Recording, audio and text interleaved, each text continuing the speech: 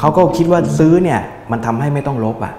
ฝ่ายตรงข้ามเมื่อเห็นว่าฝั่งเรามีเรือดำน้ำเขาเขาก็ไม่กล้าชิงจู่โจมก่อน อันนี้ก็เป็นคิดแบบนักการทหาร ไม่คิดว่าเป็นเหตุผลที่มีน้ำหนักพอที่จะเอามาหนุนเรื่องการขยายสัญญานุภาพทางทะเลของไทยนะครับ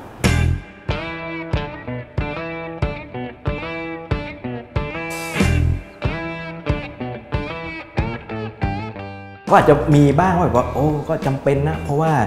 มหาอำนาจเขาเริ่มต่อสู้กันแล้ว เริ่มเข้มข้นขึ้น แต่แต่แอเรียมันยังห่างไกลจากประเทศไทย แล้วประเทศไทยเราก็อยู่แต่การป้องกันตัวเอง กับมีอิทธิพลเล็ก ๆ น้อย ๆ บ้างตามตามตามแนวของประเทศเพื่อนบ้าน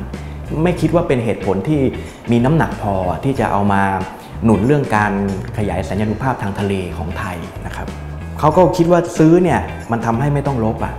ฝ่ายตรงข้ามเมื่อเห็นว่าฝั่งเรามีเรือดำน้ำเขาเขาก็ไม่กล้าชิงจู่โจมก่อน อันนี้ก็เป็นคิดแบบนักการทหาร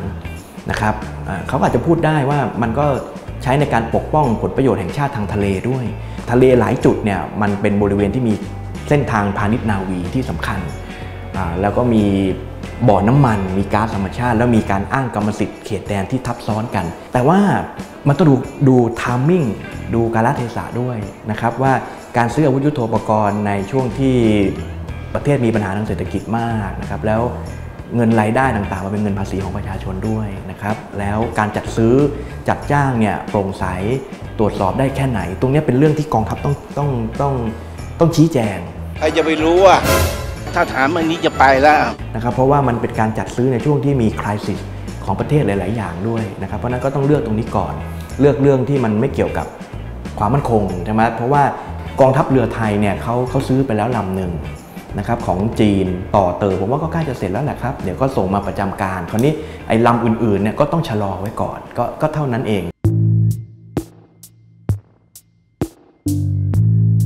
ถ้าจะพูดเรื่องการป้องกันความมั่นคงที่มีเอกภาพจริงๆเนี่ย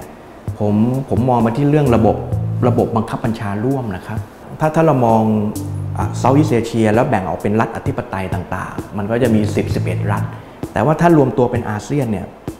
เราจะมองมันเป็น unit เดียว ประชากรเพิ่ม พื้นที่เพิ่ม ปริมาณทหาร ซึ่งเอากองทัพในประเทศเอเชียอาคเนย์มารวมๆกันกำลังพลมันก็เพิ่ม ยุทโธปกรณ์ก็เพิ่มเนี่ยตรงนี้มันจะทำให้ฐานะของอาเซียนเนี่ยมันก็จะมีลักษณะกึ่งกึ่งๆ ประเทศมหาอำนาจ เวลาเรามีภัยคุกคามด้านความมั่นคงใช่ไหมครับเช่นเราทะเลาะกับจีน หรือทะเลาะกับสหรัฐอเมริกาเนี่ยนะครับอาเซียนเองจะมีลักษณะเป็น centrality ที่สูงขึ้นจริง ๆ ในพฤติกรรมทางยุทธศาสตร์และการปฏิบัติทางการทหารนะครับ เพราะว่ามันจะมีระบบบังคับบัญชาร่วม ระดมพลก็ระดมร่วมกัน แต่ในทางปฏิบัติเนี่ยมันยากมากๆเหมือนกัน เรายังไม่มีนโยบายต่างประเทศร่วม นโยบายการศาลร่วม นโยบายป้องกันประเทศร่วมกำหนดให้มันเป็นคล้ายๆ กับเป็น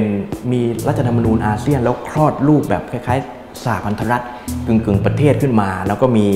รัฐบาลกลางของอาเซียน แล้วรัฐบาลแต่ละประเทศเป็นรัฐบาลประจำมลรัฐ มีกองทัพที่ผูกขาดโดยรัฐบาลกลาง ใช่ไหมครับ แล้วก็กองทัพที่อยู่ในแต่ละประเทศก็ก็รับผิดชอบกันไปคล้ายๆ กับตำรวจอะไรทำนองเนี้ยนะครับในแต่ละมลรัฐไอ้ไอ้ concept แบบนี้ยังไปไม่ถึง